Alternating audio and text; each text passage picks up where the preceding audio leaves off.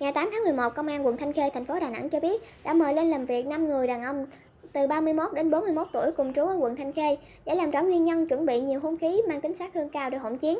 Mâu thuẫn được xác định là xuất phát từ quán nhậu. Trước đó lúc 21 giờ 30 phút ngày 6 tháng 11, Tổ công tác số 1 lực lượng 911 làm nhiệm vụ tuần tra kiểm soát trên địa bàn quận Thanh Khê thì phát hiện một nhóm côn đồ đang tập trung ngay ngã tư Huỳnh Ngọc Huệ và cụ Chính Lan phường An Khê có nhiều biểu hiện nghi vấn. Lúc này nhóm này đang cầm nhiều hung khí như mã tấu, dao và gậy nên tổ công tác số 1 đã ập đến khống chế. Phát hiện lực lượng 911 cả nhóm đã bỏ chạy toán loạn.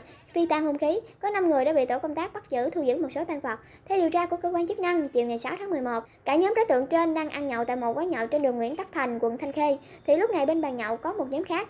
Đến tối cùng ngày khi hai bên đã sai và liếc mắt lườm nhau nên nảy sinh mâu thuẫn, xảy ra xô xát tại quán nhưng chủ quán kịp thời can ngăn. Nhóm của Hiệp tính tiền bỏ về trước và kêu gọi thêm các côn đồ khác tìm hung khí. Trong lúc tụ tập chuẩn bị đi hỗn chiến thì bị phát hiện.